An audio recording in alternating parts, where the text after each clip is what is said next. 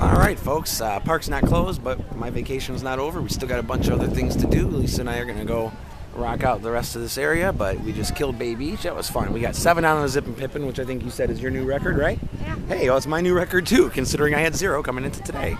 So you look down. Okay, yep, six. We broke your sixth record. We did ride the Sea Dragon once, um, and uh, we, we rode. day. Yeah. yeah. And then we rode uh, a whole bunch of stuff on the other end of the park the scat, the swings. Well, I rode that, the yo yo. Uh, scat was great. That was next to the Zippin Pip, and that was probably my favorite ride here. That was just so much fun. Um, yeah, uh, Tilt the Whirl, that was good. Didn't, didn't get too, too bad. Uh, we'll, we'll hit Safari Land next time you're in my neck of the woods. Safari Land Uh, is worth. Oh yeah. Um, yeah, we rode the little mini train. That was fun. Uh, what else did we ride? That uh, merry-go-round was cute. So yeah, it was a great day. Uh, we got 14 overall rides. Half of them were on the zipping. Yeah, we rode the Ferris wheel. That was freaky. And we rode the scrambler. So hi people, we're going on YouTube. So yeah, we'll just finish this day off with a little Zippin Pip there. Huh? A nice ride, huh? Yeah, especially at the end by that last, like second to last little hill.